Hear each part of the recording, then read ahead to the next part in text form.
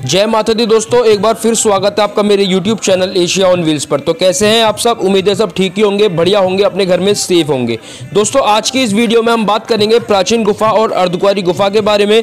भाइयों, आज की वीडियो को देखने के बाद आप सबका मन बड़ा खुश हो जाएगा, इसलिए वीडियो को पूरी देखना। वीडियो अगर पसंद आए तो वीडियो को लाइक माता रानी के सभी भक्तों के साथ शेयर और चैनल को सब्सक्राइब करके बेल नोटिफिकेशन को ऑन करना ना भूलें। दोस्तों, बढ़ते हैं वीडियो में आगे और सबसे पहले बात करते हैं श्राइन बोर्ड की मीटिंग के बारे में। जी हाँ दोस्तों, हाल ही में श्राइन बोर्ड ने अपने अधिकारियों से मीटिंग करी और उस मीटिंग में श्राइन बोर्ड ने यह ऐलान किया कि श्री माता वैष्णो देवी की प्राचीन गुफा और अर्धकुआरी गुफा को खोल दिया जाए। जी हाँ दोस्तों, ये न्यूज़ अपने में बहुत बड़ी न्यूज़ है, स्पेशली उन लोगों के लिए जो हाल ही में माता रानी के दर्शन करने गए हुए हैं या जाने वाले हैं। दोस्तों, कोरोना महामारी को देखते हुए श्राइन बोर्ड ने यह घोषणा भी करी है कि जब जब माता के भक्तों की संख्या में कमी होगी तब तब माता रानी की प्राचीन गुफा और अर्धकुआरी गुफा को खोल दिया जाएगा।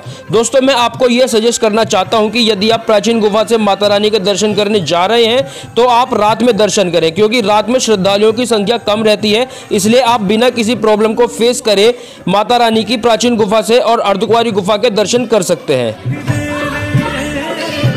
दोस्तों, आज की इस छोटी सी वीडियो के लिए बस इतना ही। वीडियो अगर पसंद आई हो तो वीडियो को लाइक, माता रानी के सभी भक्तों के साथ शेयर और चैनल को सब्सक्राइब करके बेल नोटिफिकेशन को ऑन करना ना भूलें, क्योंकि हमारा चैनल माता वैष्णो देवी की अपडेट आप सबको जल्द से जल्द देता रहता है। तो दोस्तों, मिलते हैं ऐसी किसी नई वीडियो के साथ। तब तक के लिए घर में रहिए, सुरक्षित रहिए। जय माता दी।